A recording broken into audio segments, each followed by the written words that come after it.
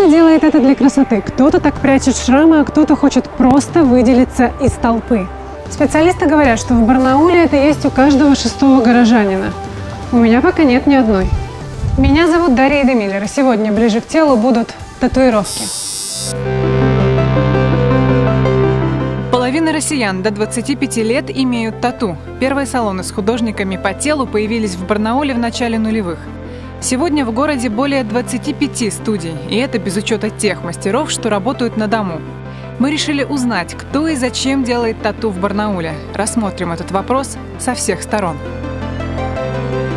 Татуировки – самый древний способ украшения тела. Уже 60 тысяч лет назад наши предки украшали себя такими рисунками.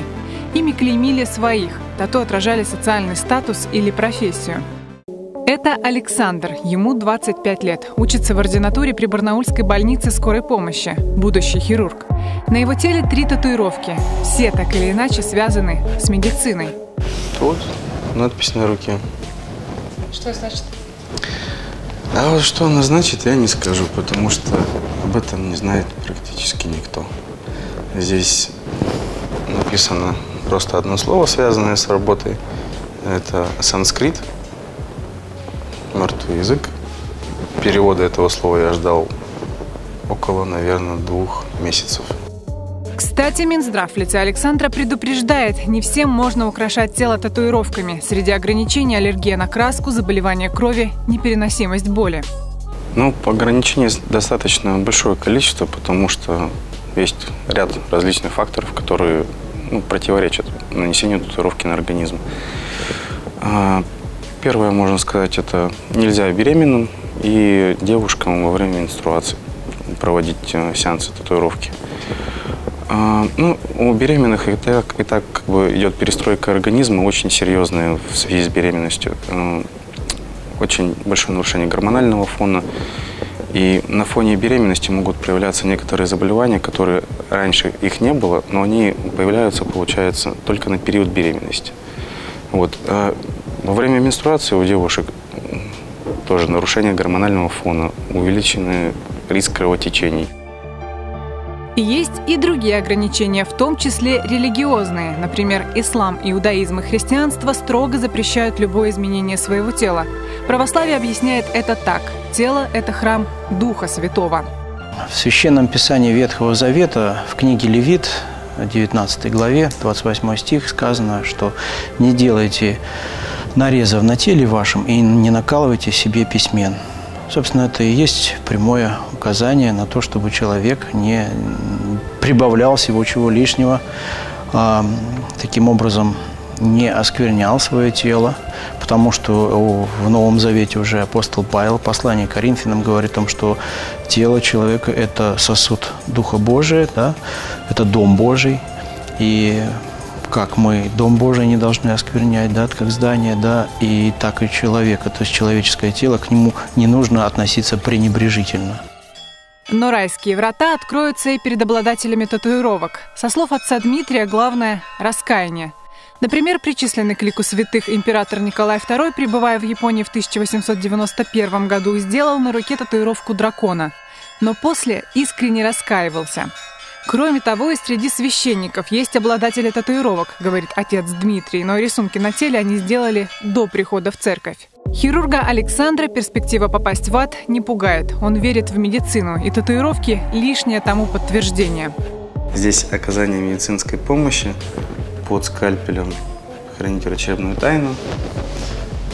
И здесь под медсестрой осторожно и бережно обращаться с пациентом.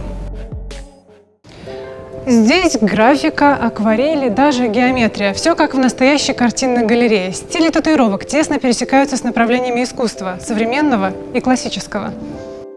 Существует около 50 стилей татуировок. Реализм, графика, акварель, дотворк, традиционал, полинезия, биомеханика, Япония, олдстайл.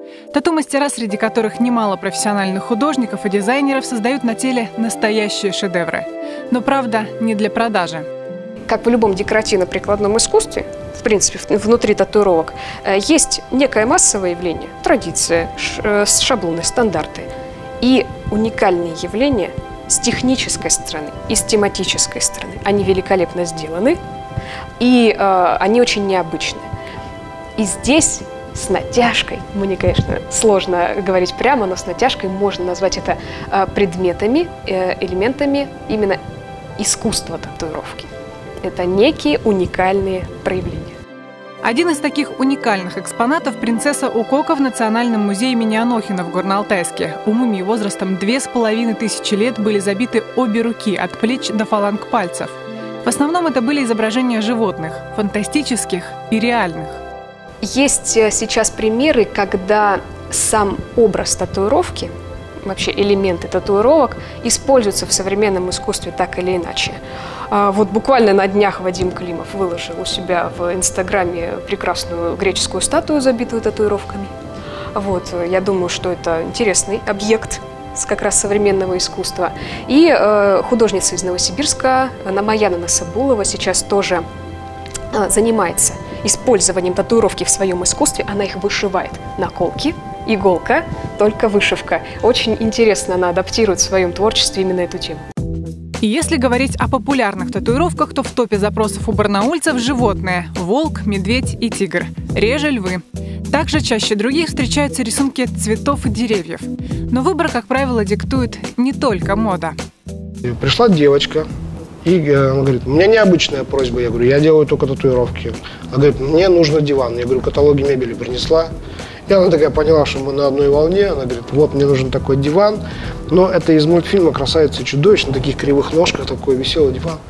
Зачем он ей нужен? То есть, ну вот честно, ну это же здорово. Фил, мне страшно. Стю, давай, просыпайся, у нас... Где мы? Ты взбесишься, но все будет хорошо. Что, мой зуб? Это настоящая татуировка! Это в кино, а в реальной жизни большинство тату-мастеров откажут таким клиентам. В их числе Роман фон Гаузен. Еще он не делает татуировок на лице, рисунки на религиозную тему и тату-надписи, содержащие мат. Но охотно может набить ложку икры или оригинальные парные тату. Вообще люди приходят и говорят, мы хотим парные, но не знаем что. И я начинаю, как со многими другими клиентами, которые сомневаются, начинаем общаться, говорить о том, что вам нравится, с чем связана ваша жизнь и так далее. И вот муж говорит, ну, вот как рыбалка. Я говорю, о, а давайте сделаем, говорю, там, рыбка и блесна. И им так это понравилось, причем, ну, люди такие достаточно уже в зрелом возрасте, все.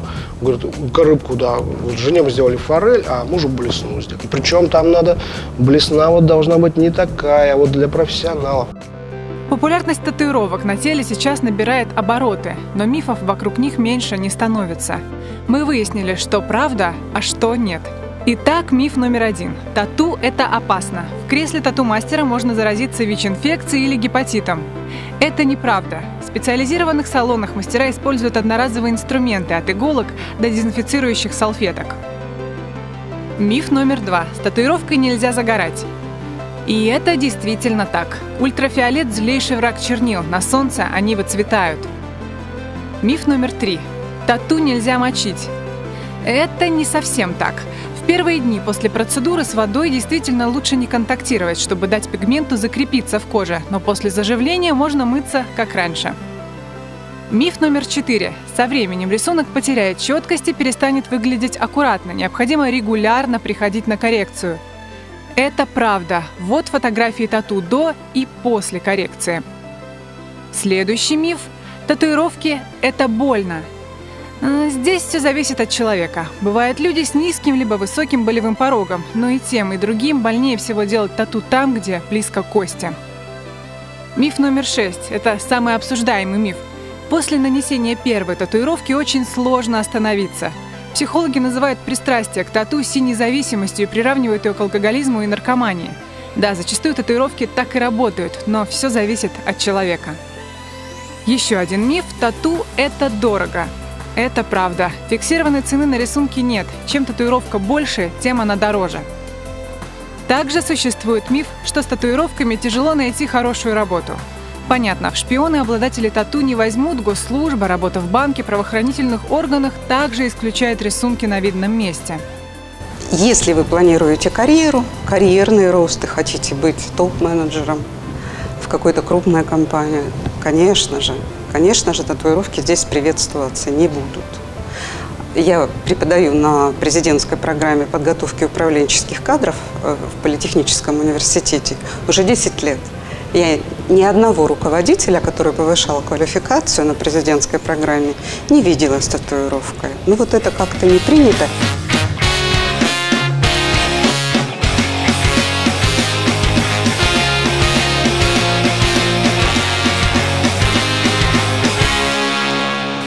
А вот представители творческого цеха могут смело носить такие рисунки на своем теле. Так они привлекут к себе еще больше внимания. Психологи говорят, что татуировки набивают чаще всего именно для этого.